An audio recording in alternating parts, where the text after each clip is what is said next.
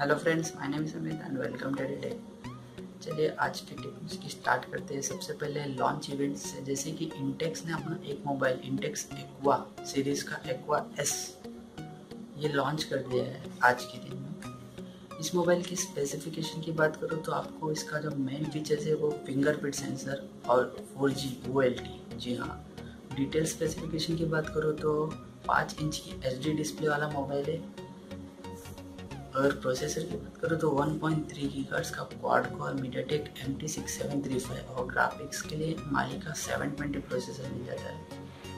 तीन G B RAM sixteen G B internal storage storage तेरह plus पाँच का कैमरा बत्तीस एम एच की battery Android six point zero ये सब स्पेसिफिकेशन मिल जाते हैं। और इस मोबाइल का प्राइस जो है nine thousand five hundred rupees है। कुछ ज़्यादा प्राइस है।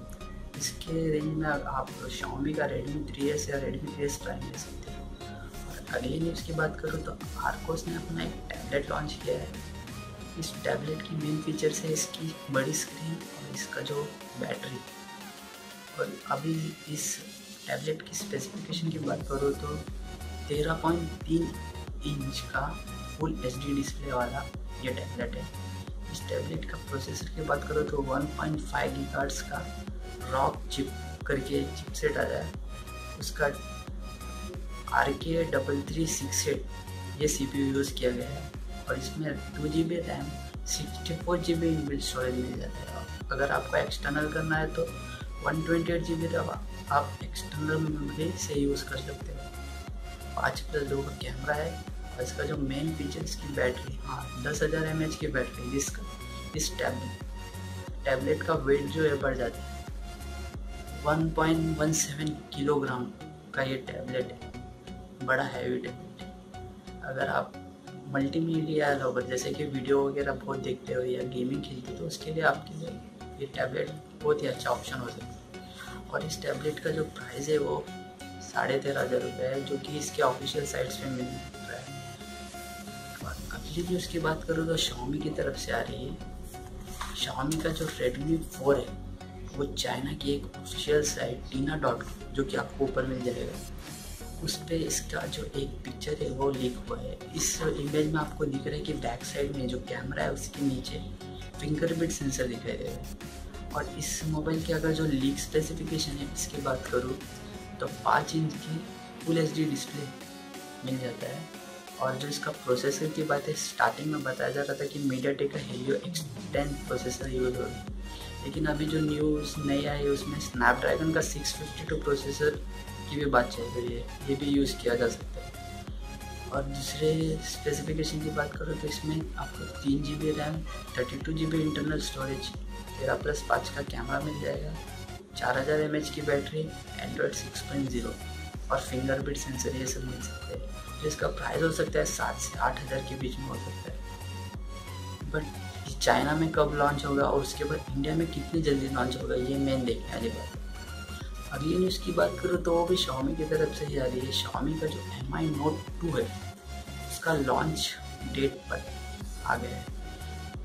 अंदाज़ा चौदह तारीख को लॉन्च हो सकता है चाइना में और जो ट्वेंटी फोर तारीख से वो सेल होने लगेगा चाइना में। ऐसा हो सकता है। और जो एम आई नोट टू है, उसका स्पेसिफिकेशन बहुत अच्छा है। स्पेसिफिकेशन की बात करो तो आपको ड्यूल एज मिल जाता है फ्रंट में और बैक साइड में ड्यूल कैमरा मिल जाएगा।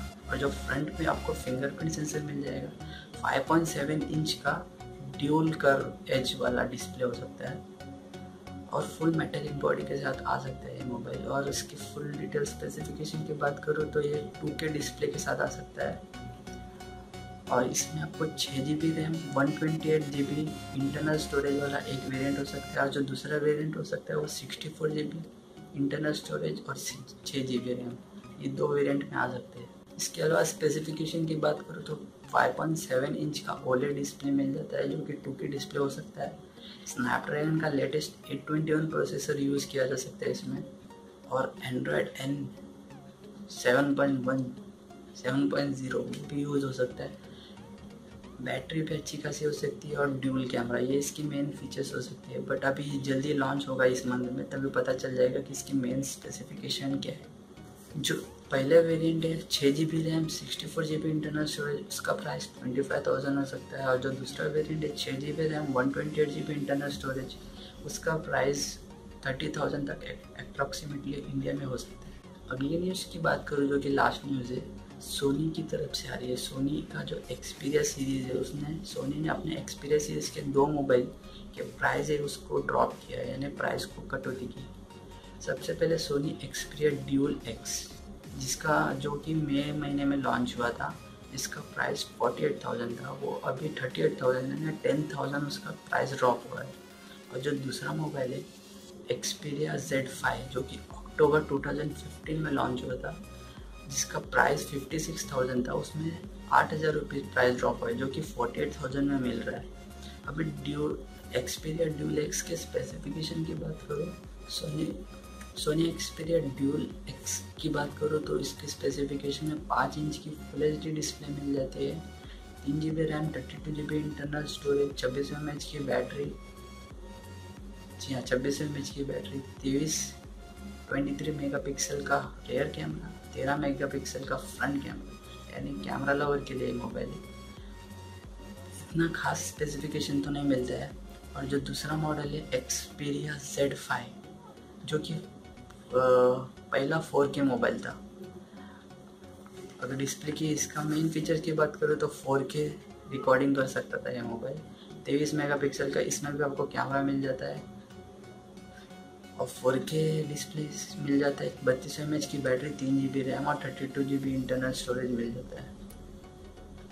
बट ये हाई रेंज के प्राइस के मोबाइल है।